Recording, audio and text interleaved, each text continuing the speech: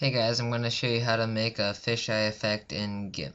So first you want to open up your image. So go here. And this is just a skateboarding picture that I took.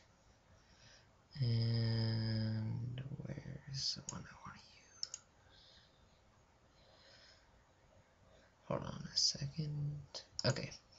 Right here, we're going to use this one. And this is what the before looks like. And so then you're going to want to click on the elliptical tool. And I'm going to hold down shift so we get a perfect circle while I'm doing this. And then you click and hold down. And then you just want to drag it to the size you want. And I'm going to do about there. And then move it over. And you kind of want to have, this isn't quite big enough, so we'll make it a little bigger and then you want to have like a little bit on each side hanging off and then you kind of want to make it even there. So that looks pretty good.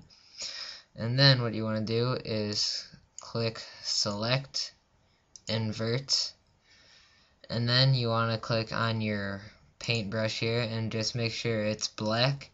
And then you just want to go like this over each of the corners and color those in black. Like this.